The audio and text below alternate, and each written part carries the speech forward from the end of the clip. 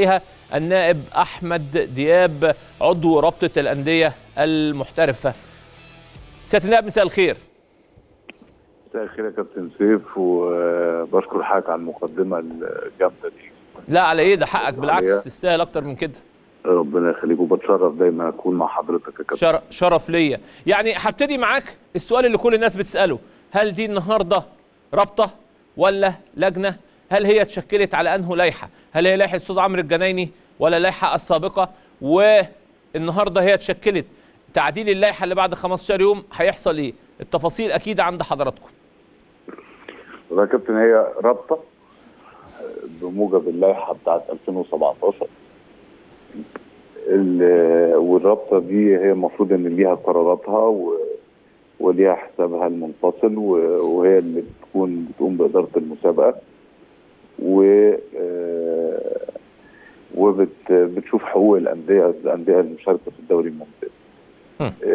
اللي حصل النهارده إن إحنا الحقيقة الخمسة اسامي كبيرة واعتذر طبعا الكابتن محمد فضل والأستاذ محمد عبد السلام فبالتالي الخمسة المرشحين الآخرين اللي هم الحقيقة كلهم قامات أتشرف إني أشتغل معاهم دخلوا بالتزكية أو فازوا بالتزكية في في مجلس الرابطة.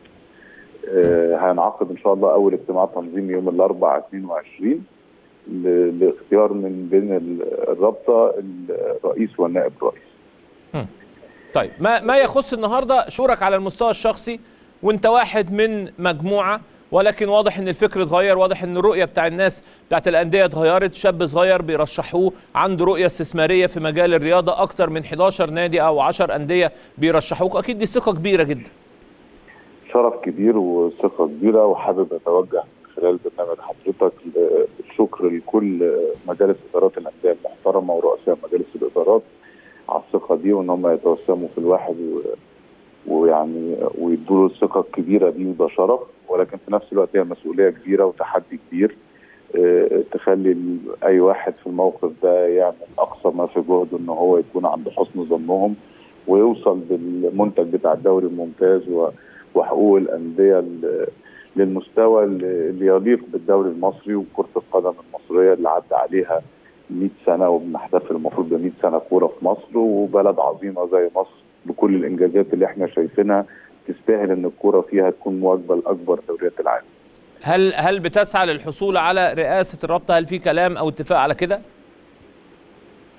والله يعني إحنا إن شاء الله هنقعد يوم الأربعاء بإذن الله ويعني آه في حصل أحاديث على كده ولكن في الآخر الأهم كابتن سيف إن إحنا نوصل بالمنتج اللي هتطلعه الرابطة ده وبطموحات الأندية وجديتها إن إحنا نوصل بمنتج يليق بالكورة. ف أنا بتشرف بمزامله كل السادة الأعضاء اللي موجودين في الرابطة و...